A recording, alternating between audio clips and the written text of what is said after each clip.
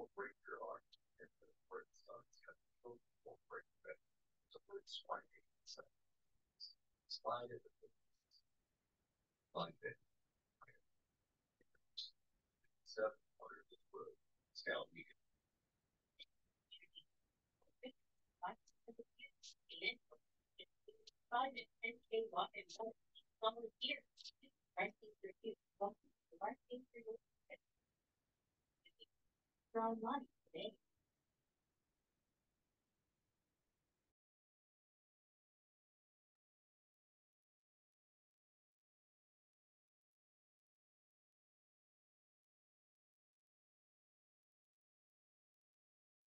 Um, then,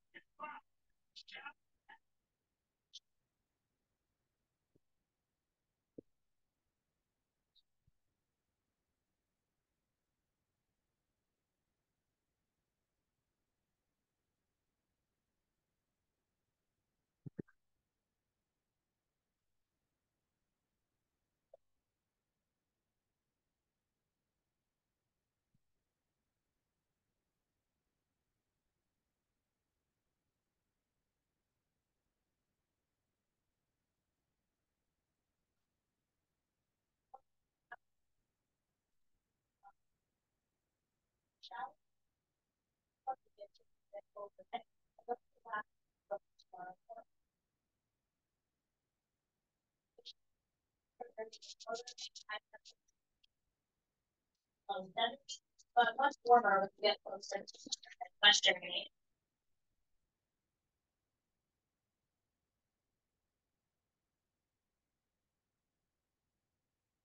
Mid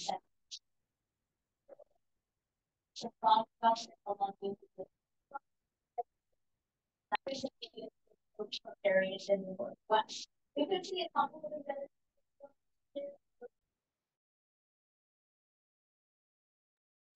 northern by about six Down east with Maine five nine.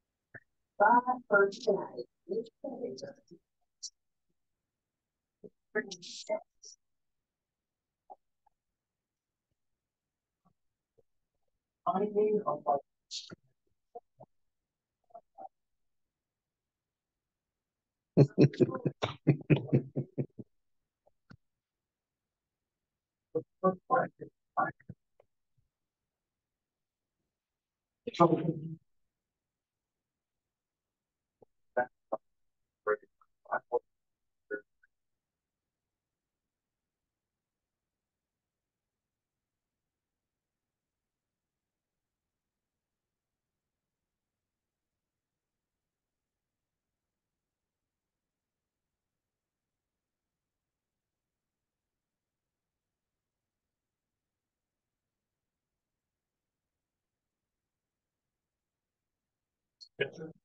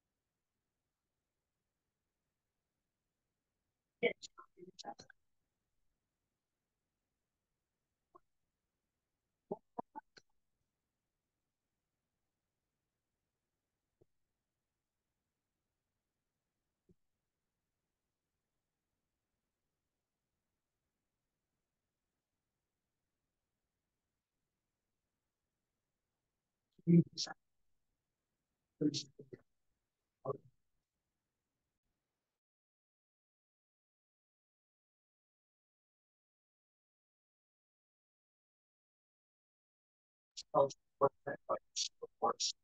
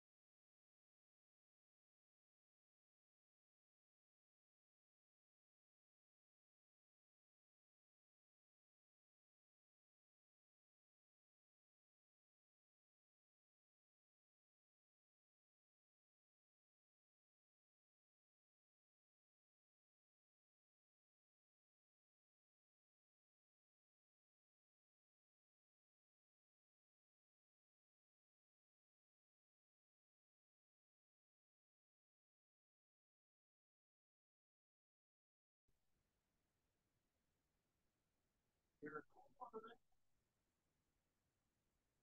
Look around, if that's okay.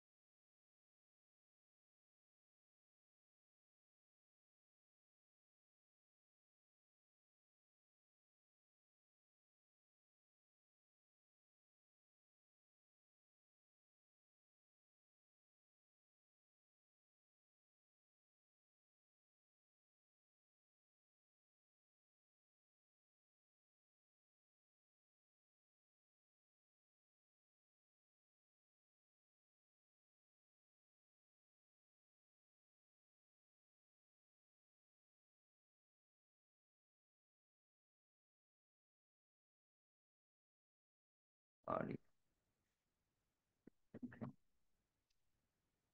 pledge allegiance to the flag of the United States of America and to the republic for which it stands, one nation, under God, indivisible, liberty and justice for all.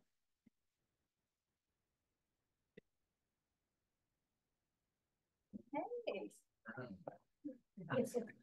Yes, We have some minutes to approve. Has everyone had an opportunity to review both the June twenty-fifth and the July 9th meeting minutes? Yes. Yes. Yes, I am going to abstain from the last meeting minutes because I did not attend. Okay. Um, can I have a motion then if there are no edits to approve the June twenty-fifth meeting minutes? I will make a motion to approve the meeting minutes from June twenty-fifth, twenty-four. Do I have a second? Second, All in favor? Aye. Aye. Do I have a motion to approve the July 9th meeting minutes? So moved. Do I have a second? Second. All in favor? Aye. Aye. So who do we have joining us today? well, Madam Chair, we have your colleague, uh, Mr. Paonisa.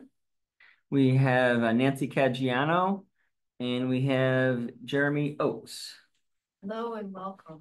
And we also have Ben Ben Pierce. Hello. Has anyone received any community input or correspondence? Um, I've actually heard a lot of good feedback about all the, the work you had done on the Flash Road side. Saying wonderful. It's nice that people are seeing that. Oh, there's some people are saying. Yeah, well, it's very evident when you drive. by. Like, and it looks really nice with all of the additional, um. Equipment that you, that we have out there and then all of the additional like garden beds and the new trees that were planted. Lovely. If I may, I'd like to uh, just give some credit to uh, Diana Brandy, who um, we hired to do that work, as well as uh, DL Landscaping. That helped out. That's great. And that was um done with the use of some uh the last of our COVID money. Uh for the idea of uh health and wellness. Uh for the students, so that they could have more enjoyment at that area. And we also lost some trees recently due to disease. And so that was an effort to replace them. Any other community input? Would anyone that is out there remotely like to speak? Let see a hand. Okay. Moving on to the examination and authorization for payment of bills. Hey folks, there's a packet of bills going around and the list as Superintendent Tony P would say is fairly typical this time of year. And you prove you would be acting upon a total of one twenty-four, four nineteen ninety-five. The Home Depot Pro or custodial supplies. Verizon is a combination of, um, cell phone reimbursement and school phone. Um, specialty Corp is school supplies, Embry elevators and unit inspection. Northeast Harbor Consortium, the ten thousand is a, lack of a better word, an anti-up fee. Whether you had any kids there or not, to be a member of it, costs you ten thousand just to have access to it. And it's separate than what you may pay for tuition, so everybody pays ten thousand right up front. And then if you send a child, it's at whatever that full rate is, even though it's reduced compared to any other outside program you might have. Uh, and then there's the first set of bills for the Northeast Consortium, kids that we have placed. Amazon is school supplies. Uh, Kevin just talked about Diane Brandy. Uh, Healy Bus is the first monthly payment for their contract. Remember, that includes a little surcharge built into it from last year because of the pickup issues at Swampscott for kids. And that has to be recognized. Uh, National Grid is power related. A one exterminators is, um. Health friendly, safe. Rodent type traps that are placed around, so good for anyone except a rodent can make go into that, it doesn't fare really well with that. Um, SEEM Collaborative is special ed, Easter Seals of Maine is a special ed placement. Work 'n Gear is custodial uniforms by their agreement. Learning Without Tears is a new program that, um, Principal Andrews got approved. Action Ambulance is actually sped transportation. Um, Foley, a Follett is having to do with uh, library books. Uh, is where we had received contracted services for the summer occupational therapists. Now you have a occupational therapist on your staff. Yeah, carpet cleaning. Monahan lumber is custodial supplies, the Northeast Air Solutions is uh, to do with the air conditioning system. Uh, Mass Association of Superintendents is your measure, uh, your membership. Um. Robert Debo is his cell phone reimbursement and his fingerprinting. And discrimination and harassment solutions has to do with a legal fee. Obligated for, and it was encumbered from last year's budget. So that Okay. money is not coming out of active money now, it was held over as a estimate. I think it may have been a little bit higher than that, that you actually encumbered. That's the final bill, the final report from the matter involved was, uh, completed. So you're, you're paid in full with regard to those services. And that would constitute the total of one twenty-four, four nineteen, ninety-five, subject to One twenty-four, four nineteen, ninety-five. Okay, there's just a typo on this document that we signed, so I just crossed it out and I'll initial it, okay? Is that okay? Yeah. Okay, I'd like to make a motion to approve the um invoices for the meeting of eight twenty-seven twenty-four. Which come to the total of one twenty-four thousand, four hundred nineteen dollars and ninety-five cents. motion. Excellent. And all in favor? Aye. Aye. Moving on to the superintendent's report. Okay, there's, um, two or three items on it. One is there is the final determination of the free cash amount from the Nahant Public Schools to the town of Nahant. Uh, floated around for a while and the figure? Eighty, uh, I'm gonna find out. Well, can we'll come back to that? I thought I had it written. No. I'll find it. There's no information, but it's eighty-six and change. Isn't the two or three hundred thousand, if that's something. Uh, in terms of my meeting with the Swampscott superintendent. I went over there and met with their middle school principal and the superintendent, who I knew pretty well from my time in Rockport. On the seventh of August. Um. Didn't even have to plead, I just said, it'd be great if we could cooperate on some things. They said, sure, we'll do that. Uh, cross country, our fifth and sixth graders are able to participate in that now. Uh, we've got, uh, several kids involved in that, I actually don't give the names, but I'll tell you the numbers. Oh, that's wonderful. That is great. Yes. For cross country, we have two sixth graders and one fifth grader who are interested in doing it. Great. um, outdoor track, um, they approved that for the spring. Assuming that the relationship worked well in the fall across country. And, uh, there are two kids interested in that, both fifth graders, both fifth grade girls, actually, in that particular group.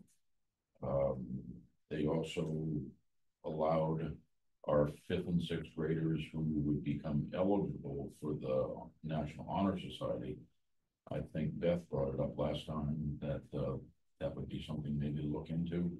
And, uh, they will run service type opportunities throughout the year for the kids at the middle school, which begins over there in grade five and six.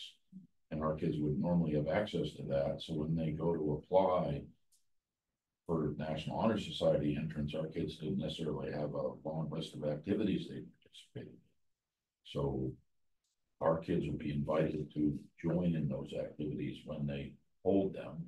And we have, uh, two fifth graders and one sixth grader interested in that.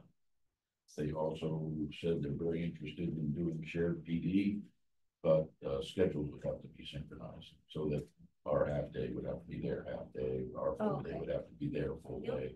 But would, they have no problem with us piggybacking on their PD or, or coming to ours, but there'd have to be synchronization. Also, Willing showed me a nice conference room where I could meet with, uh, students that were now in or high school in Swampscott and do the exit entrance interview kind of questions about how are things going, uh, what'd you miss, uh, you know, what kind of gaps were out there from your perspective? And, um, what's good about Swampscott, what would you change and all those kind of things. And I'll probably do the first one in October and then make another one after the first of the year, probably three times during the year. Just to give kids a chance, I'll bring pizza and just invite them to come, It's great. whoever, whoever comes, comes in. So Yeah, we used to do senior exit interviews at the high school I was at, Maine. Those kids were very upfront about their experience. And serious about it, professional about it. You'd say to them, you know, you're, you're done. Don't you want the school to be better for those behind you? And they took that pledge and would say, yeah, this, this was good, I wish we'd had that. Um, they even went into sort of who their better instructors were and who uh, might have been, um, able to improve in certain areas. It's all confidential, and we just carry it back, and I think it was their parting gift back to that high school. So I think the same kind of thing should be there for your kids, to talk about their experience all the way up. Are gonna allow that. They also talked about allowing teacher exchanges and curriculum synchronization. They're very interested in being part of that. On September third, which is next Tuesday, first day we come back from the long weekend. Uh, Matt Morno is coming over from the, uh, police department to do an hour long presentation on school safety type issues and lockdowns, not only as a review for present staff, but as a, uh, new information session for the new hires. And then I'd like to publicly thank uh, DPW Director Zach Taylor for responding and getting a contracted service to paint the lines out front and made them wider. There's a complaint that you parked there, got an SUV, couldn't get your doors open in front of the school. So they eliminated a couple of spots and widened those lines out. And I noticed that they had done the, uh, the parking lot at the door four side as well. Uh, they couldn't get to that initially because we had graciously allowed trailers to be parked there and became a beautiful summer home. And the individual that putting up that home is interested in making a donation to the school. oh, great. So we said, That's wonderful. our, our, yeah, and, uh, we'd love to have that. Oh, it's wonderful. Excellent, sort of win-win kind of situation. Well, I greatly appreciated that my car could successfully fit into the space this morning, so thank you. Two other things that I have are the parent and student, um, survey response to me has improved a little bit. I extended the deadline to the first part of September. Thank you. Uh, we had a total of nineteen parents who gave us feedback. And, uh, it went from just one staff member to now seven, Great. which is mostly teachers. Um, I gave all you folks access to be able to see the responses. But it's different than your survey that you did that you're gonna redo in the spring. It was more for my entry knowledge. And, uh, I don't think there was any new issues that, that sprung up. You should have gotten a link to both of those surveys to be able to read those responses. Rob, did you say that, um, you're gonna continue trying to get more teachers?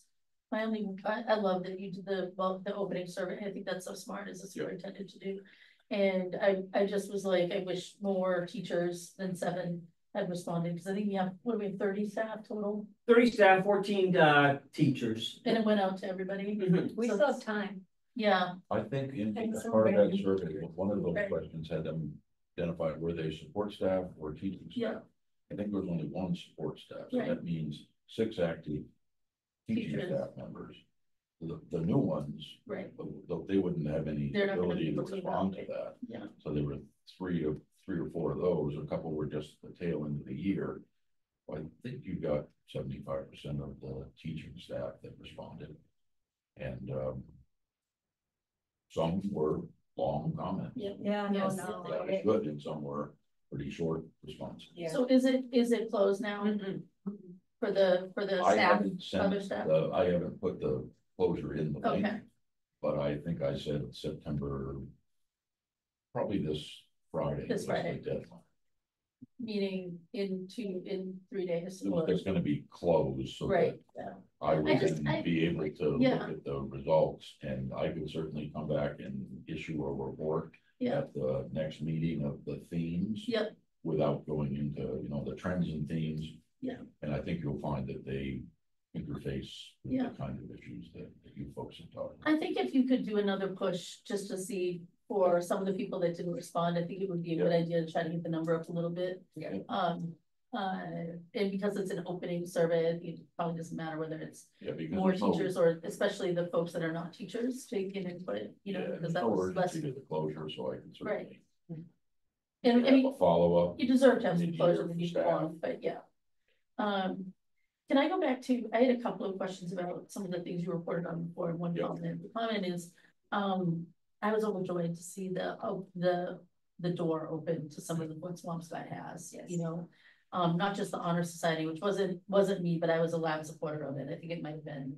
Right, um, related as a, as a public input, I think. right? Oh, okay, maybe, Yeah. um, and, um, I love, like, you may have another fifth grader on your cross-country offerings, so, um, because my son is interested, I just wanted to have a quick conversation with him and make sure that was gonna be okay, but, um, but I love that, I just, I, I think that's exactly the type of thing that we should do, I love the idea of like, um, Yes. doing some PD and sharing those resources together, um, feels like the right thing to do. That's a Um, step for those kids too, you know, I mean, Yeah. probably fifth graders, they're gonna. Go over and go four days a week in Swampscott with kids they don't necessarily know, and that's a Great, yeah. big time adult. Right, it, it's totally great.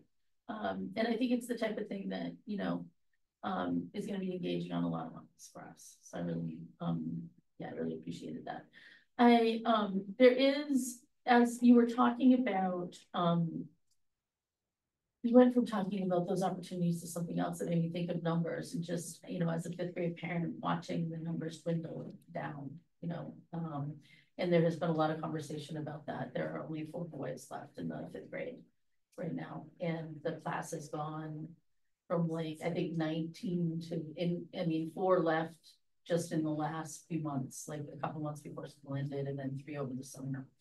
And so, you know, that's definitely being watched by parents out there, and there has not been a formal, please bring this to school committee comment. But at every gathering I'm at in Nahant over the past, you know, couple, two to three weeks, people are talking about, um, that and just, um. Oh, no, it was exit interviews, so that led up to a suggestion, is, are you also, are, could you do exit interviews with families that have opted to leave, you know? And, um, or maybe could somebody at the Johnson School, just so that we can learn the reasons why. Um, you know, that parents are choosing one thing over another, and they may be more free to talk about that as they are leaving, right? And similar to what you said about the high school students wanting to give back. You know, there, I know some of the families who have left, and I know that they have like strong um feelings of, of care for the Johnson School. Um, and we should learn from what could have been different, and maybe some things we wouldn't be able to make different, but some things I bet we could. Yeah. And I think I could probably offer either a face-to-face or a phone call, or Right. one of those anonymous type surveys. so that, Exactly, yeah. You know, Uh, yeah, and truthfully, I didn't know that the numbers had dropped in their class until today, when I saw that there was twelve. And so I knew of one child that was leaving right before school ended, but I think four, three or four more since then, so I was kind of shocked to learn that today. Um, so that would be helpful, I think. I think we should, certainly put something together. Yeah.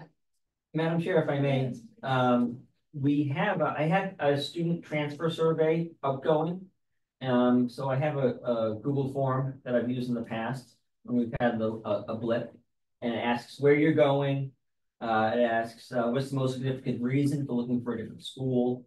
Uh, are there programs? And then it's an open response question, so, um, I could start with that. Think that'd be helpful? And send that to the families that left? Yeah. Yeah. My last item is that, uh, at the meeting on September twenty-fourth. I will be away at my daughter's wedding. Oh, That's I wonderful. zoom into that meeting. Uh, sorry, which one? Actually be in The 24th. Vermont, yeah, Okay. but if I can, if it's okay to zoom in. Because that we have to change the Twenty-third date of the twenty-fourth. of September? Yeah. Would Would you like to change? Oh, no, it's the date 20. So that you don't have to worry about zooming in. Guys, I, I'm fine. Just whether that's okay. Is the wedding that day? Wedding's not the Saturday, but it's all sorts of. No, No, but there's, I mean, I don't mind if we change it. I don't mind changing it either. That would actually help me because I have a work event that night that I was debating skipping to Great. attend the meeting. But so I wouldn't oppose that either. Okay. So. That leaves, Have you ever skipped the meeting? in the summers, we have. Summer sounds enticing. Summer. I'm not gonna lie. And there's a opening enrollment report and those kind of things, so they're probably pretty important. I would, uh, So our next meeting is on the tenth. that whole Yes. week for me is gonna be where I'm I'm gonna have to book days on either side of it, so I could do anytime week. I think it would be hard to do back-to-back Yeah, weeks. you go week to week wouldn't make sense. You- So could we do, we could do like, could we do like the, does it have to be a Tuesday, I guess is the question?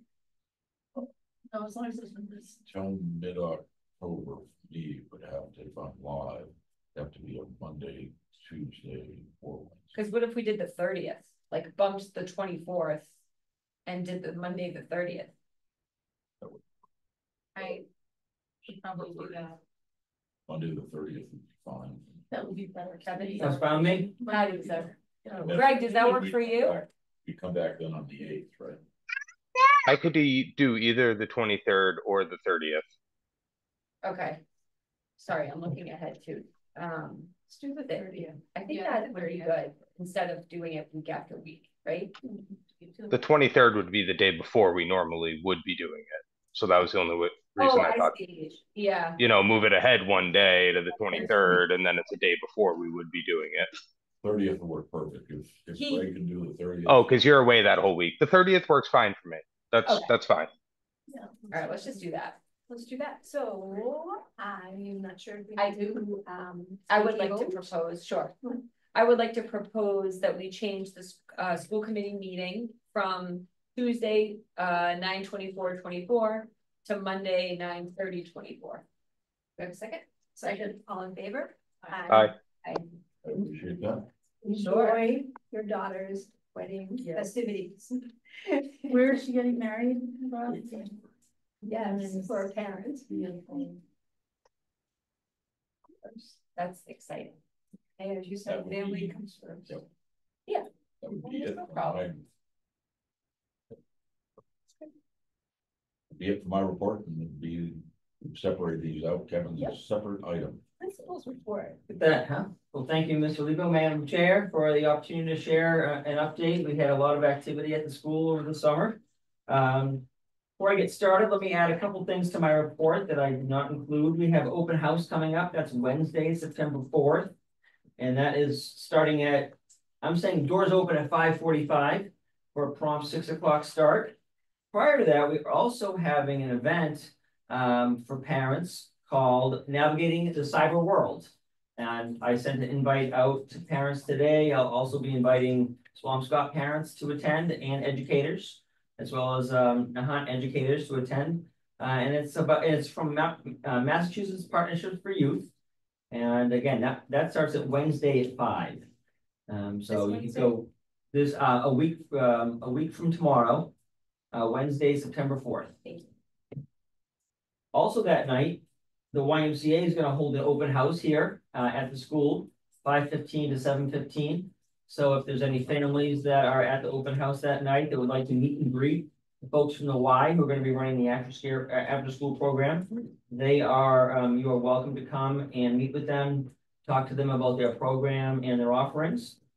It's also the night we'll be having the book fair. So Oh this is gonna be a- an all-around carnival at the Johnson School. Lots to see, lots to do. And um, it'll be the usual fair with the open house. Uh, I'll give a brief overview of the school year. Followed by two programs by the teachers that will be identical, and then there'll be additional time to attend the uh, the fair or. The uh, visit with the Y. What's the date on that, Mr. Anderson? September fourth, um, that'll be uh, starting, the, the, all the events start at five. And we'll probably wrap up by seven thirty, definitely wrap up by seven thirty. And we're starting to use Parent Square more for that, so I did an RSVP for that. Uh, for the cyber world, I'll do them on separate nights, I don't wanna blast everybody in one night, but kind of sprinkle those out in the next few days. Uh, so that folks can see what's on their calendar. Um, related to that, we started using the digital form feature in Parent Square. So you are not seeing a welcome back to school packet with things to fill out that we already probably have on our file somewhere. Uh, so you'll instead, you're instead getting forms that ask you to uh, recognize the student handbook policies and so forth. And so hopefully, um, you're finding that to be, uh, more user friendly. Uh, and then, uh, to the, uh, formal report. In the area of students, families, and community, as I mentioned, um, after-school program, uh, I've been meeting with them. I am running what I'm calling the interim after-school program.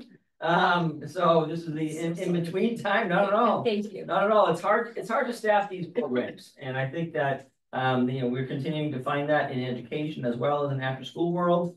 But, um, we do have a site coordinator in Sarah, Sarah Osborne. Um, the Y is in the process of onboarding her, but in the meantime, she's working for the school. And, um, and Julie Weber is helping out as well, so two familiar faces for the students as we open. The summer enrichment program went fabulously, I think. Um, I really enjoyed it. I was able to use a lot of lessons that I developed over the years in my science background with the students to get them excited about coming to school each day and they seemed engaged and, um, and did some learning as well. I Have, uh, some things to report about, uh, in the area of technology. We rolled out our iMacs. You can see them here. There's, uh, one of them. All the classroom teachers each have a new iMac on their desk to speed things up. That came about from uh last year's efforts. Uh, in addition, we were able to use some ESSER three funds to purchase iPad minis that classroom teachers will have and a pencil. an iPad pencil that they'll use for DIBELS, that's the reading assessment. They'll use that for attendance.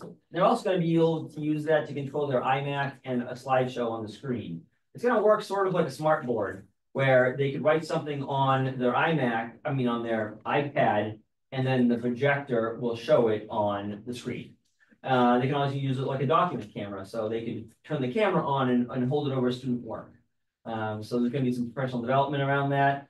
Uh, we'll be getting, um, nine of those. And then the work would bounce up on the screen? Yes, so the iMac's gonna, the, i- the iPad is gonna mirror the. iMac. And the iMac projects to the screen. Nice.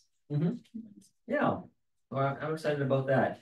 Um, in addition, uh, special education staff members will, uh, be receiving MacBooks for their use on their, uh, special ed reports. I often, I see the special ed staff showing up to meetings with their own devices, which are, we're welcome to use, and I'm happy they're having them. Um, typically, they're a little bit older, they purchase them themselves, not provided by the school, and we had an opportunity to do that here, uh, again, through some, um, final ESSER funds. In the area of curriculum and instruction, we're adding digital math this year. Um, we've had digital math in the back in, in the past with everyday math. But again, um, the state is closing out the ESSER funding this month. And so, uh, we need to finish using up what we have. And so we'll have licenses K to six for students to access the online component of everyday math. That's in addition to IXL. Uh, in the area of buildings and grounds, um, I have to say Jose Garcia has done a fantastic job getting the building ready for the school. Uh, he's painted uh, many classrooms. Uh, the entire sixth grade classroom got painted, the art rooms, second grade and the first grade And the STEM rooms, uh, the front wall was painted because those ones get the most wear. Uh, so he got around to them, he stripped door eleven and twelve, took them all the way down to bare metal and put new paint back up, looks great. Uh, he worked on the cafeteria wall and the library wall. We had to waterproof the wall because they, they leak water from the outside or, no, I should say seep. It's not a leak, it's a seep through the concrete. So we put a concrete sealer on there, so I scraped them, concrete sealer and then painted. So he's done a lot of great work and we were able to do that because we had not just Jose, but also Vinny and James all at the same time in a period of time, as well as a, a, a former alumni of the school, uh, who was helping. So we had a, ni- a nice team over the summer. Uh, on the next page, I have the, uh, the grounds work that we've done over the summer. Uh, the boulder scramble was installed. That is, uh, funding through CPC money or CPA, CPA money, rather, uh, Community Preservation Act. We had a, a fifteen thousand dollar grant for that. Uh, so we actually came in under budget and, uh, put boulders in the forest playground. We also added a, a pine tree there because we're losing some of the pine trees as they age out, we think. We're not really quite sure what's happening, but uh, we want to make sure that we'll have trees there in the future, so you gotta plant a tree if you lose a tree. Uh, I have a picture of the interpretive sign. Those were donated to the school by the garden club as part of that grant. Um, and then the last picture so- shows a cleared hillside that was full of invasive species. This had rosa multiflora and, um, other vines. We saved the few trees that were in there and we hope they'll spread. The main goal was to get the thorns out and the invasive things that, you know, these, this rosa multiflora was originally planted for birds to eat the berries in the forties, but they don't like those berries. They don't like nesting in there. Uh, they, they kill other plants. And so, um, DL Landscaping was able to remove those for us. Uh, so that was some great work. On the Flash Road side of the playground, we had, uh, three gardens well, six garden, actually, I wrote three garden habitats. It was actually six garden habitats, uh, two sets of three. Uh, each with, uh, the idea is to not just have a tree, but have a tree with shrubs around it that you'd find in a forest, and then plants around that. So it's not a formal garden like you might see in a, a house. Uh, the idea is to rehabilitate this area so that it's not just all lawn, uh, and that students be able to play in, in and amongst the areas. They're not running through these areas right now because they're, you know, young plants. Um, there's an oak tree picture there. Um, but we hope over time they'll mature and, um, and be fun places for the students to be. And then you can see a picture of the new slide that was installed. That was installed also with the, um, help of G and J, um, and an inspector from New England Playgrounds. Um, that looked at the site plan and will be, uh, checking out the, uh, final installation. Kids were great about not going up the slide or around it because we don't have the mulch there yet, and it isn't quite complete.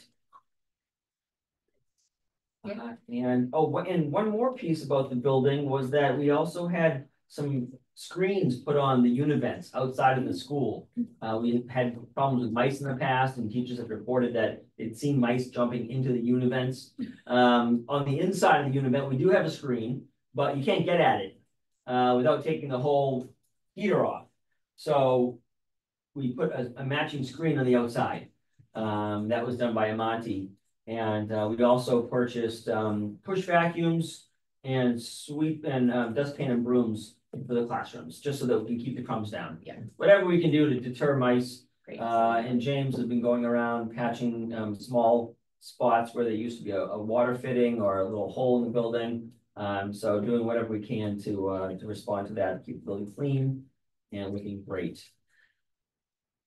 So thanks to, again, to Jose and, uh, James for getting the building ready. They did a fabulous job as they always do. And, um, we were open and ready for business today. Uh, the front of your report shows some students heading down the hall with their bags of loot from Target, it looks like. So they had, they, uh, really, uh, came in excited and from what I heard, had a, had a wonderful first day of school. As did I, and I, this will be voted as well.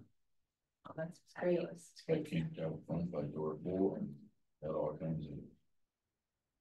Stars and. Kids and parents. Mhm. Yeah, There's a lot of great energy this morning. Good. Yes, wonderful. That concludes our report. Thank you. Thank you. So I don't think we have any old business, so we can move on to new business. Your summer programs would be, Kevin, a quick recap? Oh, of the summer Oh, program? actually, yes, um, and I did speak to that in my report, unless uh, there's any other questions. No. Went off like without a hitch. So review of the opening days of school regarding PD and first Yeah, day. I think we've alluded to the energy and Yes. the way things work and the opening PD for teachers was excellent, I think, uh, Mm-hmm. in terms of the DIBELS. And, um, I made a little PowerPoint, which was unique, kind of It was very unique Kind of and very so, well uh, done. purely who I am, and I'm gonna make sure people knew who I was, what I believed in, what my philosophy was. I sent that out to, um, the staff, I sent it to those that couldn't attend too, but it doesn't have a narrative with it, so you might say, well, what did you put that there for? But I'll, I'll put it in Drive, so you can at least have that. And, um, not that. so Good an opening, for school that I've seen, I had the ten AM flag raising, annual flag raising today. All the Yep. kids were right there, the pledge of allegiance, uh, Mm-hmm. Jose Garcia did the honors with two kids that came out and helped hoist the flag up. and It's the first time I've seen that, that was awesome, Great. It's really So- nice. feels good. Wonderful. I'm glad the kids had a great first day.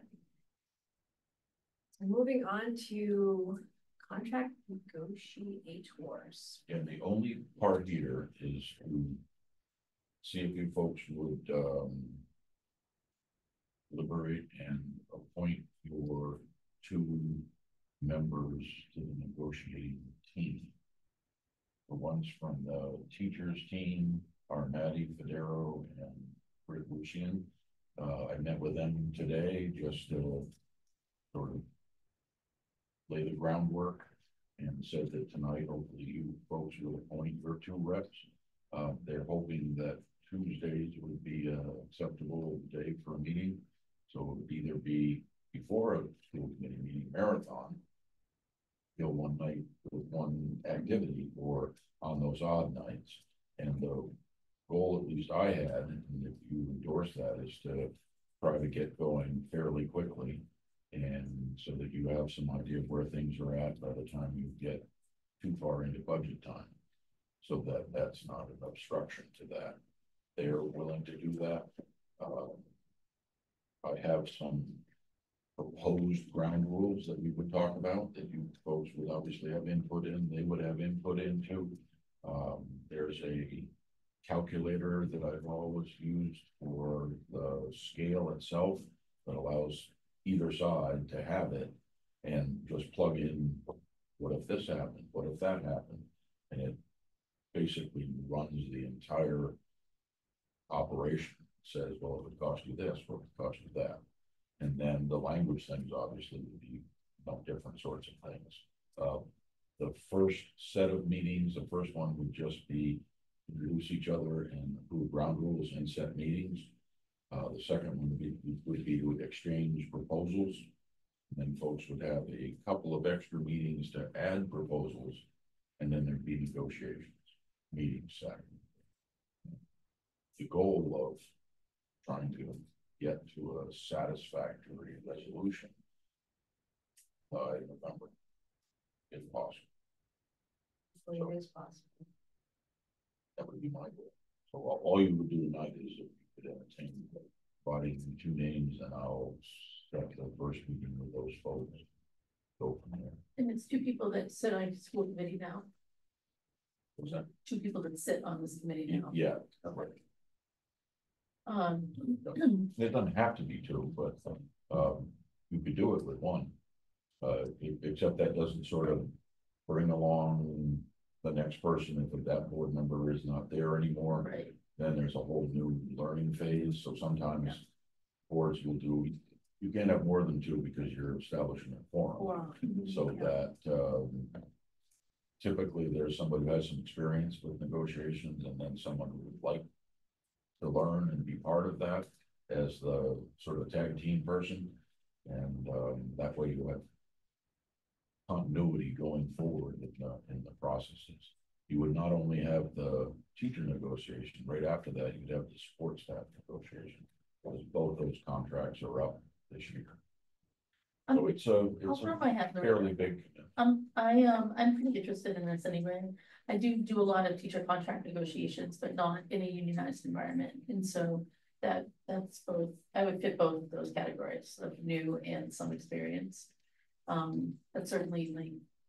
Amateur when it comes, with the exception of, I was on this committee when we worked through the contract, um, or the last contract. And, um, that was interesting, that this would be more, um, more involved.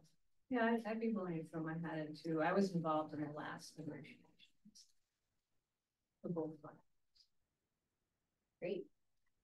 And if you felt like you needed something more experience, I'm happy to sit back as well. If Greg or Mariana, if you want to do it. You know, Nope, I can't get to that. I think I should learn first and then hopefully be here for next round of negotiations. definitely. And we would be able to give the board updates periodically in executive session of Yeah, we did that last what time. are the issues, uh, what are the Yeah. obstacles? Uh, because you folks would ultimately have to approve any deal. in the end. So to have that sort of hit you at the last moment would be a difficult kind of thing, so I would think every school committee meeting, it's like we've had a previous negotiation. meeting, You get an update on what happened in executive session. My one shortfall is i- if it could, it would be hard for me to do every Tuesday, so if it could be an hour early. On the school committee nights, that would be a lot easier for me to be able to do it, yeah, Then that would actually work better. Yeah. too. to do. To have it on a school committee. night. yeah, it just starts and do it six. Just go. The proposed ground rules talk about a meeting length of no longer than two hours. Unless mutually extended. Yeah. Uh, after two hours, so it'd be it gets five, it would be, or tired or whatever. does it have to be two hours, No. or could it be, No, and I think an hour. Both sides have prepared well yes, in advance. Right. Have prepared their teams. Yeah. We can do a lot in a, in an effective hour. great, And then at some point, uh, the two members that get appointed, I think, need to decide what type of role you want your superintendent to play in that. Um, some places they're just advisors to the board. And I've always been involved in a pretty help people through the issues, uh, almost like a mediator and provide all the background information. And say, you could do this, you could do that, this is what would happen, um. yeah, and our last, I think Tony pretty much did a led, he of led, that. yes, Yes. we were the support. And that's basically what I did in Rockford. I, I led the negotiation, but I didn't wanna come here thinking, hey, this is what I do, and then folks say, no, you don't. You, Lead away, Rob. you sit over there, I and have we no- ask you. I have no no. issue with. Yes, please. And I think they're fine with that. Uh, uh, the other thing is part of the ground rules, and they're theoretical. Um, some teams.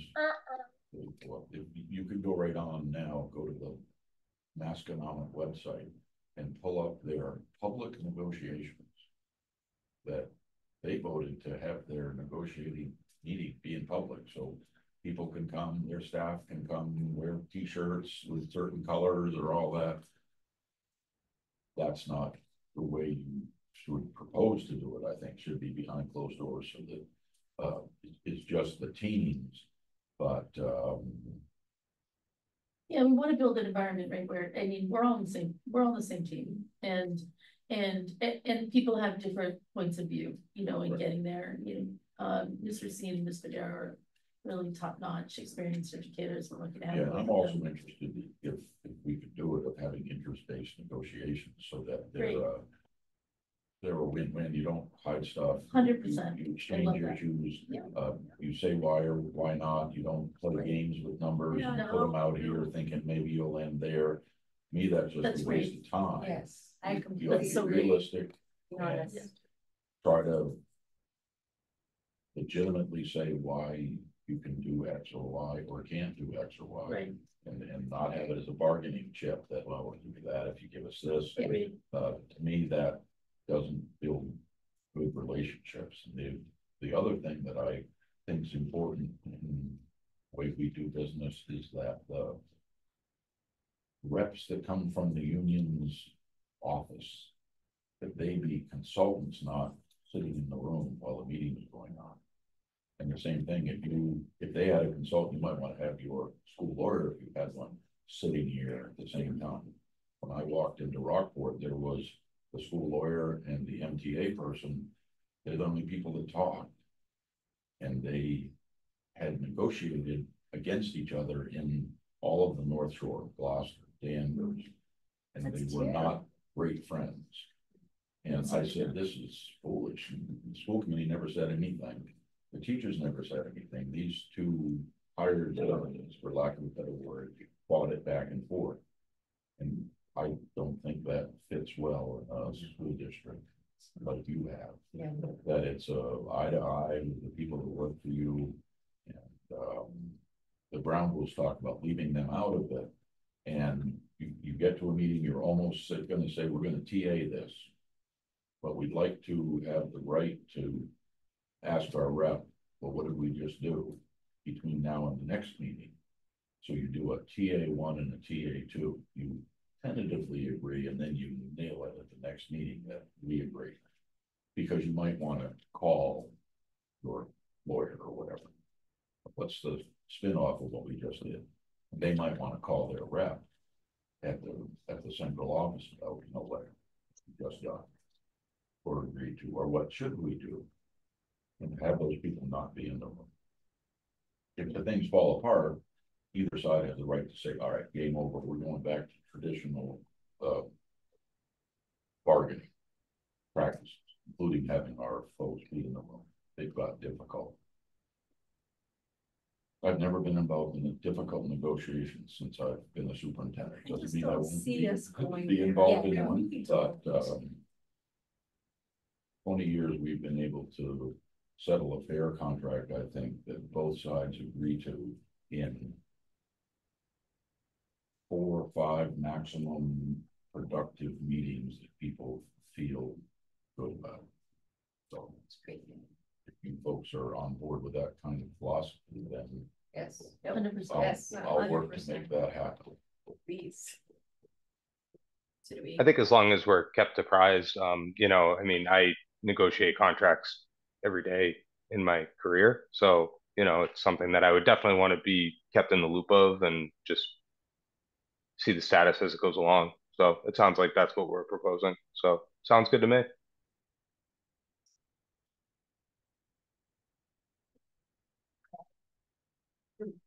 Do do we need a motion? to remove The representatives? Is that what we're looking to do here?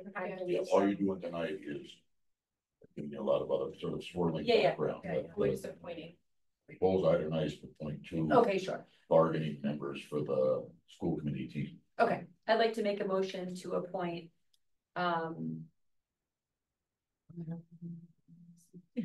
Beth Anderson and Patty Karas to be the two representatives for the school committee on behalf of the negotiations with the uh NTA. I saw Contract. All in favor? I, Aye, I'm Aye. just. Aye. So I was gonna step in Beth, Beth, Beth. Beth, Beth, Beth. Okay. On to item D. This We have was another committee. Related to one of my goals, which was to um, bring back to life, the strategic plan that right now you had one, but it planed out in twenty-two. And didn't have anything for twenty-three or twenty-four. It ran through August of two thousand twenty-two, your existing strategic plan. And what I'd like to do is get another strategic plan committee going and to set it up as a three-year rolling strategic plan. So every year, things fall off that are either completed or no longer are pertinent, and then new items can get added. But the plan takes on a sort of life of its own and progresses. There are some places that say, no, we do a five-year strategic plan, when you get done, we do another one. I think having a rolling one is more effective. And then you have a committee that's part of that strategic plan. So can you tell us a little bit more about what the strategic planning is? Is it like, Yeah, they might be as simple as, we're gonna build in addition to this school. That's one of the facilities part of that strategic plan. Another might be that you're gonna adopt, uh, certain academic approach. You know, maybe you're gonna go to all differentiated learning and self-paced learning. You're gonna, the most far-fetched one, which was, used to be my dream, is take away grades. And you work kids through standards at their own pace flexibly. And that I might be a ten-year-old doing two years ahead math with a group of kids that are the same ability as me. But my English skills aren't so quite so good, so the group I'm with is a little further back, but you progress through the standards. And teachers then aren't grade level teachers, they're concept level teachers. That's exactly It's what a we do pretty- in my, in my. It's alternative. And, and I, I love at that, but. But Don't Yeah. put that lightly. Uh, well, Yeah. that's what I thought said, this is my dream, small school, we could do this. I'm not as, um. Convinced that you can really pull it off and that people will really understand it, but I think if you. Went from thirty thousand feet, and you came down here and you had a bunch of kids that needed to learn. You wouldn't just say, all right, you're in first grade. And if you happen to know the stuff and it's not getting any further for you, well, then just, just hang back and wait. Yeah, And if you're stuck with it, uh, we're not gonna put you in another group or try to identify why you can't get it. We're gonna just not have grades. Kids go to the Johnson Schools Academic Learning Center, progress through the standards. Okay, so, so it's sort of like. Focused on the future of the school, maybe what the issues are, what we're trying to improve from the Exactly. survey, and then. It's all about sort of future planning. Yeah, We're Doing a corporation or whatever, we're gonna have a new product, we're gonna do whatever. Yeah, And it's different than just the ongoing daily stuff. It's the hopes and dreams for the future. And some of them you can accomplish, some you can't. Rob, do you tend to do your strategic planning in conjunction with budgeting? I've always done them hand in hand. Because there's always a financial component to most strategic plans. They talk about that as part of it, but they don't let it be a, a barrier to the dream. You know, they, they try to have it be more about the hopes and wishes if you maybe didn't have financial obstacles, possibly. But there could be an aspirational part to the finances too, for example, like, if you- Say, Totally. no, the, the, this has got guardrails on it. Yeah. We can only, uh, present things that are uh, definitely achievable, we can pull off. oh, You can always move something to another year, you can roll it forward, it can Exactly. still be part of the dream. But Yeah. that's the beauty of a three-year rolling plan is saying, we're not in the, uh, the economic position to retool this whole school like that, but since it's such a noble endeavor, let, let's keep it as something we might want to still dream about. 'Cause Who knows, And ten years from now, and what resources would we need to get, there, Yeah. right? There's Yeah. always other grants. and, and the strategic plan committee will talk about what they want it to be. It's what I'm interested in tonight is who should be on that? Who should I get? I was together for that? Gonna ask, what's the composition of one of these typically, Rob? One more time, Greg, I couldn't hear you. What's the composition of a committee like this? Would it be like one or two school committee members or We have. the school committee or a couple how? of Teacher reps, it would have Kevin, it would have myself, it would have a couple of parents who are either. Spammed out and asked for who's interested in, or you get them from the PTO. Um, it would have, um, maybe a municipal official. Or maybe Tony would be asked to be part of it, or whatever, a couple of school committee members. And, um, they meet probably once a month, and they pull together a plan that has to come back for approval to the school committee, and each year they meet to, okay, we've done this, it's no longer on the plan. I'd Like to add that, and you approve the next phase of the three-year rolling strategic plan. I can show you a sample of one that, you know, we used to use in Rockport. and A lot of it was, I'm, I'm, I'd say we accomplished everything we had listed on that plan. it's, so this is just like ringing my ears about, we've had so many decisions to make in the last two years, you know, with all of the, um. Planning with, uh, where the kids staying at the school, where we sending them to the middle school, we found a new superintendent, we've had so many things going on, but. My ears are ringing about this because I think what we had decided was like, we really do need a strategic plan and a community-based approach. To like what sort of the future looks like for Exactly what the kids, about. Um, the bullseye of what the Yeah. focus of that committee would be. So I think it's, you know, it's ironic, because it's been on my mind, and especially hearing that. The elementary schools in Swampscott, I'm sure you've heard that the three have now joined Mhm. in this brand new beautiful school. Yep. And so I think like, all I can think of is, wow, Nahant joins in seventh grade at the middle school. And all of these kids now are joining in, um, before they reach the fifth grade at the middle school, whereas before they would all meet at fifth. Yep. Right? So it's been, I've been thinking a lot about like, okay, we need to kind of get, it was on the back burner, but I think we need to figure out a way. It's a bigger disadvantage to us, in my opinion, in that situation, so I feel like this should be, I think, a big topic for the strategic planning. And For, knowing the, the situation that you're in where your kids don't, you know, like in Rockport, they go all the way up through grade twelve whatever. yeah, They've got the ability to choice out in Rockport, Right. Gloucester, Manchester, Essex. And some of the plan is about well, how do we keep the kids from wanting to go to Manchester, Essex and Yeah, not stay in I mean, Yours is a little more right in your face yeah, and, um, with those small class sizes, you.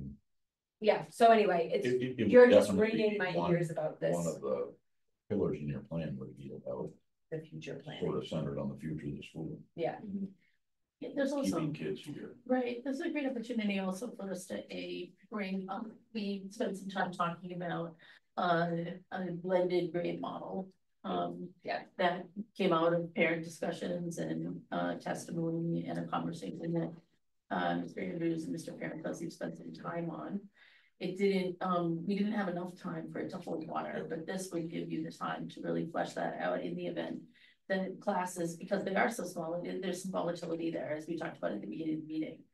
This, the second part that has come up from time to time, and I think about it always, um, Mr. Andrews, when you talk about, um, some of the projects that are really near and dear to your heart, is that with your science background and the placement of our schools in Highland, um, I, as an educator, I think that we, we, not intentionally, but we undertap some of the resources that we have here around science, marine biology, conservation, et cetera.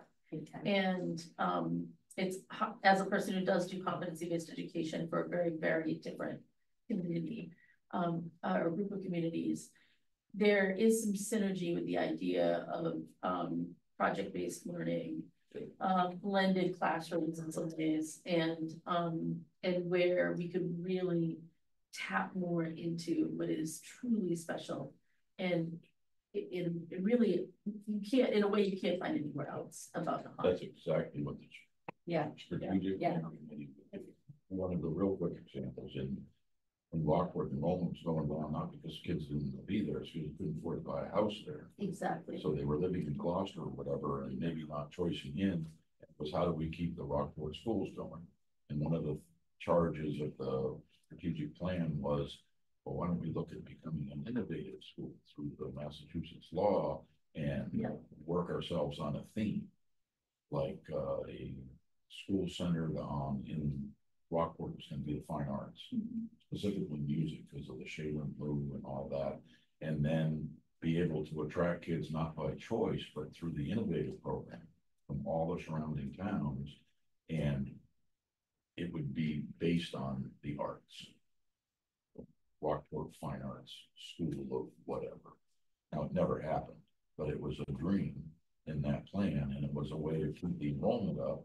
For the Rockport kids over there, you would bring in more than the choice kids.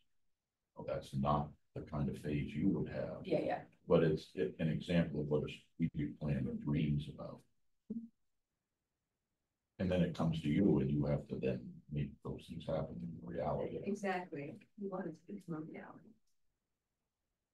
I volunteer to be on the strategic planning committee. Yeah, absolutely. Awesome. I mean, you guys know I, I loved being on the school committee, but I, I haven't, I've been saying for months that I was gonna not stay much longer, much longer, but I, I don't anticipate that I'll stay the whole year, but I can definitely see myself at least transitioning to help in that sort of capacity. So much you said. Gonna change your mind. When we get different negotiations, I would go to some fixed idea of how, it- how it was gonna come out, it would be more like facilitating the Yeah, dream of this conversations and- community. yeah. And as many stakeholders you could have. Kevin, me. Yeah. A school committee rep or two. I, I can put my name forward for it as well. Yeah. And then a town official. Yeah. Tony or Tony, yeah. Uh, If we could get Tony to be part of it, not to take too much of his time, I think that'd be ideal. I do too. Uh, and then it's, how do we select parent? And community input, wouldn't have to all be parent. I would spam it out and see who's interested.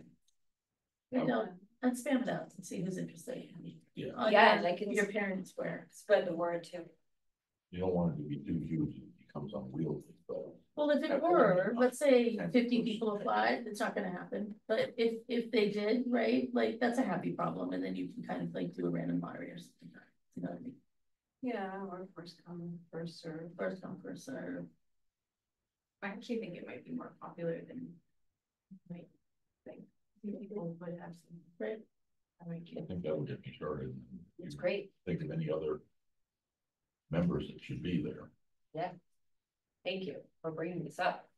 Um, Is there anyone else that we think should be part I of? wonder about retired teachers that live in town, and um, fabulously lovely ones, love the Johnson School, that's what I'm thinking. And my guess, maybe somebody from the Council on Aging, probably would what it's doing. Um. But, yeah, I, I definitely can. We can spread the word. I think, I think parents would really be interested in something like that. I, I think, You do hear that in those surveys, the nineteen people that weighed in is, you know, find a way to keep kids wanting to stay here. Yeah. Yes, yeah, That's, that was loud and clear. that's begging for that kind yeah, of. I agree. Committee and. And watching our dwindling numbers, there are other people that are concerned. That's that, right, right? exactly. That- that's But, but then also tapping into your resources, like said. Right, Was that, Say it again. that was one of the major parental threats. Yeah. About, you know, trying to keep this viable school. Yeah, but there's like, there's a healthy ecology committee, I mean, um, uh, population here, like, people really care about, um, climate. There's artists, you know, here, um, and there's a lot, there's, there's a lot, the sailing club is huge, it does tons of things with the golf course, like. There's lots of people that provide here for, for our kids that aren't necessarily in the school system, you know, that I think we can tap into, that you're really actually great about tapping into every year with, you know, taking kids to all kinds of things that happen in the- historical society. yeah. Um, the people with the garden that everybody went to on the street, um, with the daisies, and, um, yeah. So, I don't know if this, I don't know why it would be a conflict, but I almost wonder if it would be helpful to have a teacher from a Swampscott school also be part of it, like. My, maybe I could convince my sister, yeah, um, whether it's a middle school teacher or staff or high school, I mean, I think like. The bridge might help, it help, it might help us kind of bridge the two together. Um, just a thought. I'm gonna ask my sister, I'm saying that while I it's think I recorded. could leave that to the base membership of the committee to decide if they want to expand to like, our at-large seat or something like that. well, does she live in? My sister does, yeah, so I could see if she could try and join. And my, my neighbor across the street actually is a long, lifelong, Justin, you might know him, Mariana, Justin. He's lived here a long, long, long time. He bought his family's house. Cecile? Uh, maybe he's a teacher, like an eighth grade teacher. oh, yeah. Yeah. Yep. Yeah, something like you're that. right. Yeah. He teaches at the high school. Monday, Yeah, regard right. The time commitment, the negotiations is gonna sort of be right up. But it's, I'm not gonna put this off till spring. But I would think we'd have an initial organizational type meeting. Get some initial thoughts on, on paper. Certainly before Thanksgiving. Yeah, great, I think that's great, okay. All right, that's good on that. for. Make a motion, you want a motion? Sure, Yes. yeah. Um, I make a motion to. Uh, appoint, accept the volunteering spirit of, um, Liana and Mariana to the, uh, committee, the strategic planning committee. On behalf of the school to represent the school committee. Do I have a second? I second. It's the worst motion in history. It's okay. I didn't know your lesson. Liana Deloy. All in favor? Ariana All in favor? Aye. Hi. That should have given you a name, that would have been fun, it was like Anderson Sanders.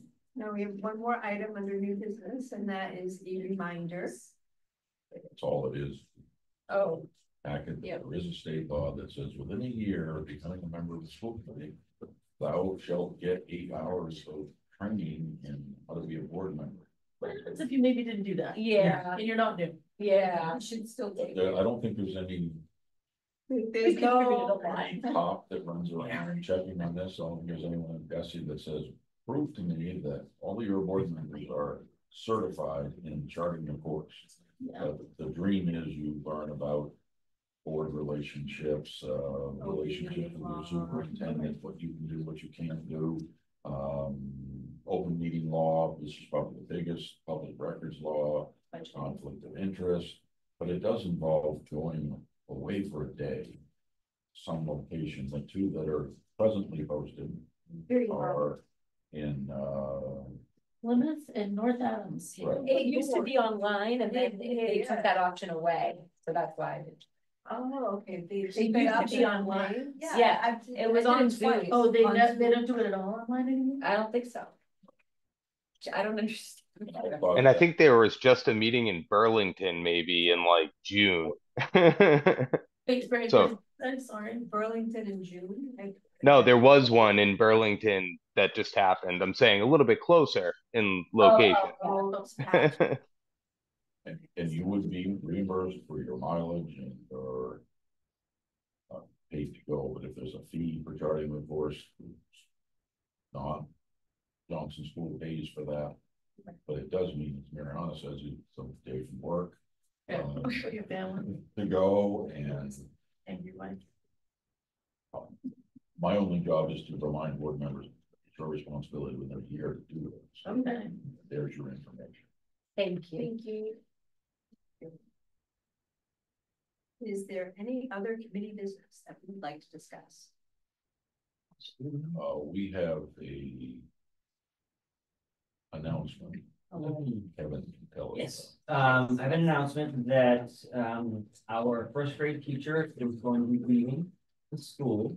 Uh, um, Molly Santora has taken a job in Connecticut, um, outside of teaching. Outside? Um, and, um, she's gonna be, she's, uh, informing parents tonight.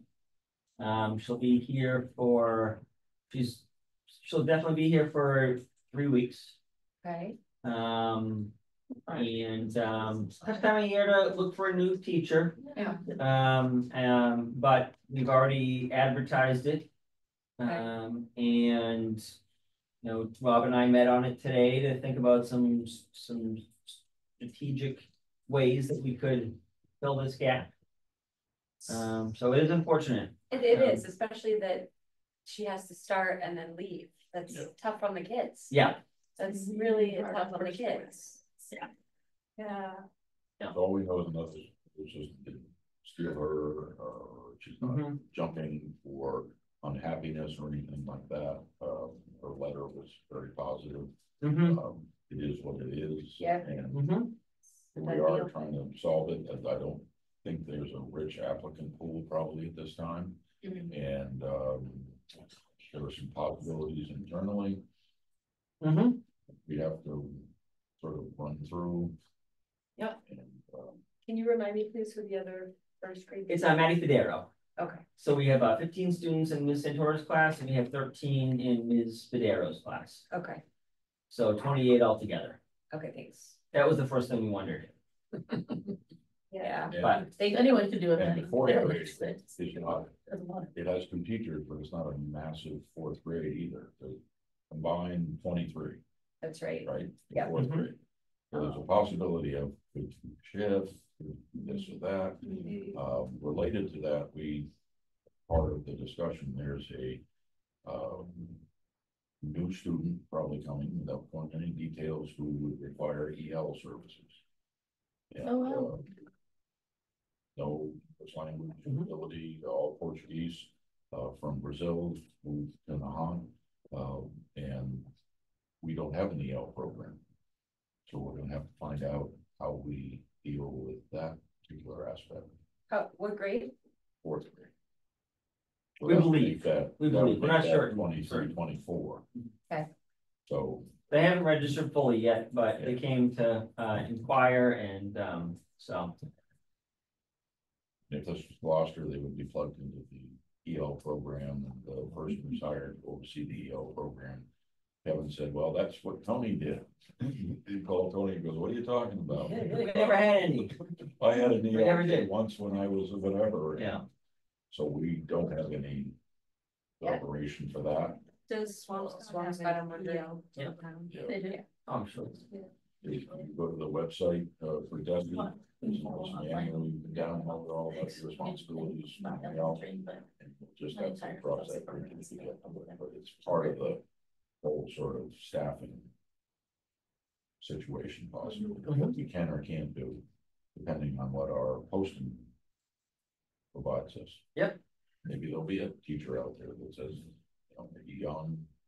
It was mid-year, believe it or not, someone resigning mid-year, sometimes you get a.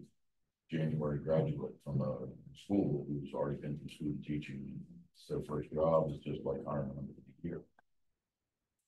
It's unfortunate, but it's, it's good for Molly and, and it's, uh, part of her career dreams. Something different, so. Could I ask you a favor, Mr. Andrews? You think at the next meeting, you could just bring a breakdown of how many kids we have in each grade and who the teachers are? Sure, yeah, Or that's is so it- easy. I not mean, I, something it's, That's a- online, is it? it's, it's not online, Okay. but it's um, it's at my Do fingertips. you mind? Is that okay? No, All it's, right, and I can, I can send it to you before then. all right, that'd be great. I just, it just helps me to see it like Yeah. laid out, you The know? other, the other chart is like where there was most helpful charts, you know, um, one's the one that had, it's like a grid. And it went by year of how the kids are going from one class to the next Yes. and what the numbers look like in Mhm. class, you know, and, and you kind of read it like this. You Sure. go diagonally, That- Sure, like that- is- That needs that to happen cohort over time. yeah. Over co, yeah, the cohort, Yeah. you know, the cohort same group chart. of students. Yeah, Yeah. and Yeah. then how Yeah, they- yeah. That was. Sure. We got a lot out of town. We Okay. did, yeah. Yeah, I can, I can generate one of those and I'll email Thank you you so the um, much. and you're looking for a class, a grade, no, uh, Number teachers, per, number per class and the Mhm. teachers, yeah. You got it. Thanks. Okay, well, if there's anything we can do, please let us know. Sure thing, spread the word. No, you Yeah. got I've reached out to the teachers too, they might know someone. Mm-hmm, we have a lot of teachers who are recently in school, Yeah, we do, Mhm. yeah. so, Yes. great idea. Yes. Oh my, are there any other announcements? No, I was like, oh no. Should I make a motion? Yes, there are no other announcements. Um, can I make an emotion, please, to adjourn our meeting at eight twenty-five P M? Do I have a second? Second. All in favor? Aye. Hi, Bye, Greg. Bye, Greg. sorry I couldn't make it. Oh, No that's okay. worries. It's all Oh, good. No, no, no. Zoom worries. counts. It does. It was great to see you all. Oh, shoot. Were we supposed to have made a motion to change the school committee meeting? Or I did that already? We did Yeah. that. Nope, you did that. Yep. I was like, oh, shoot. Okay, great. Now I could go play in a golf tournament out in Western Mass past Springfield. So, thank you all. Oh, yeah. Uh, Have Um, a great night. Yeah, you too. Thanks. so I am not here. For the September tenth. So who should Sure. I be passing this computer to? I can do it. Are you sure? Yes.